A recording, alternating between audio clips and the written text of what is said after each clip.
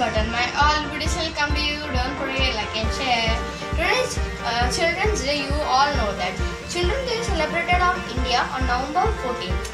It is uh, uh, it is the birth, birth anniversary of Mr. Uh, first Prime Minister of uh, India, Mr. Jawaharlal Nehru. He also named as uh, Ch- Chacha Nehru, and his wish was to get all the children uh, a good education for all of them.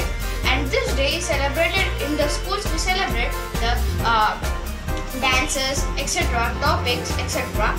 Uh, and uh, this is this because of this COVID, we are not uh, say we are not going to schools. Uh, because of that, we are not celebrating Children's Day. And I am wishing you all the all the children happy Children's Day. If you like this video, please subscribe, like, and share.